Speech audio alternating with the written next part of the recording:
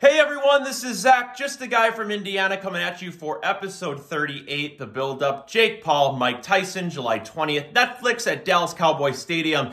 As always, thank you for tuning in. Feel free to subscribe and check out all of our videos where we go topic by topic, keeping you covered on all things Paul Tyson, and we'll continue to do so throughout their bout July 20th. It's a special episode today, and it's a milestone in my short talk show career.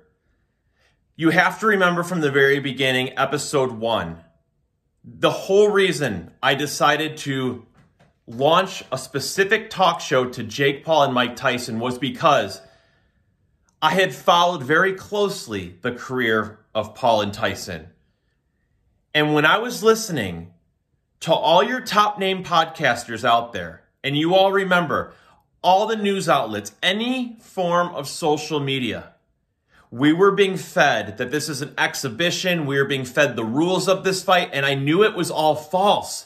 I knew that that's not what the fighters had wanted, the paperwork they submitted, the talks they were having. And as a fan, just a guy from Indiana, I felt it to be perfect timing to launch my own talk show specifically revolved around this fight because I knew information that they were spreading was false. And it was crazy to have to listen to it and feel like it was being embedded into my mind that what was being spewed from the very top podcasters all the way down was incorrect information. The biggest being that this was an exhibition fight and not a professional bout. I cannot think of another talk show that from day one said this was going to be a professional fight because I have studied both these fighters. I knew the research, I know their backgrounds, and I know the interactions with one another and what they had wanted.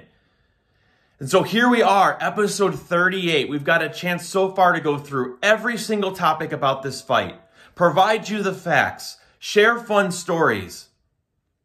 And today I am so excited to come to you with a celebration of victory of our own and deliver you the breaking news that this is going to be a professional fight. We were right from day one. It was not easy being just an average guy who started a talk show from Indiana going against everyone who everyone else already knew and said, You are wrong, I am right. But today we do get to say that. It is a professional fight. So let's get into it. It is going to be eight two minute rounds. They are going to be wearing 14 ounce gloves. This will go on their professional record. So with Tyson, he is 50 wins, six losses. Jake Paul is nine wins, one loss. So the outcome will be either a win, loss, some sort of draw, no contest. But nonetheless, this is a professional fight that will go on both fighters' record. It has been made official. And I had to share it with you. I hope I'm one of the first ones that can present this message to you.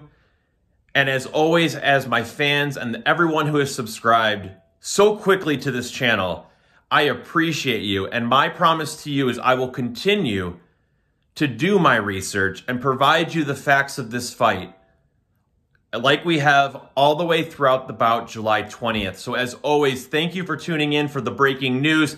This is a professional fight. And we'll be back tomorrow with a brand new episode. Have a great rest of your day.